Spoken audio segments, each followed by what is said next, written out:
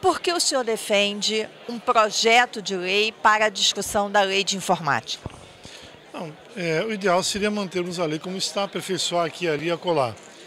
Mas o, como nós temos uma obrigação a partir de um contencioso da Organização Mundial do Comércio, mas né, que o contencioso levado à frente pela União Europeia e pelo Japão, que se sentiram lesados pela lei de incentivo brasileiro, principalmente a questão do IPI, aí nós temos que apresentar uma alternativa para o setor. Nesse sentido, como nós estamos já um ano, quase um ano, tentando estabelecer um debate continuado, permanente, com o governo e essa coisa não está acontecendo, o que, que nós estamos propondo aqui? Então, se as entidades do setor se propuserem, elas nos ajudam a formatar um projeto, a gente apresenta um projeto à Câmara e cria uma comissão permanente na Câmara, chama a sociedade, chama o governo para debater dentro da Câmara dos Deputados. A questão de 2018 ser um ano muito difícil. Nós vamos ter eleições, não só presidencial, mas eleições gerais. É, isso atrapalha a discussão sobre uma lei de informática, já que a decisão final vai ser conhecida em abril de 2018?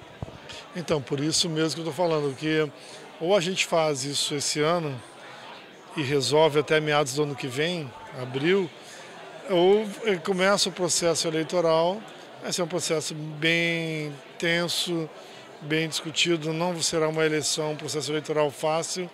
Né? O Brasil está tensionado, a sociedade está dividida.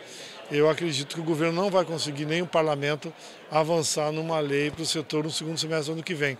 Então nós temos que resolver essa questão até o final, meados para o final do, segundo, do primeiro semestre de 2018. O setor está falando de um fundo pra, para software, né, que está sendo discutido entre FINEP e MCTIC.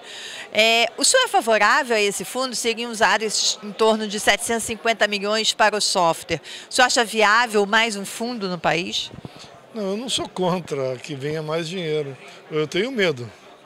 Eu tenho receio que o governo acabe usando mais isso aí mais esse recurso para financiar a sua crise.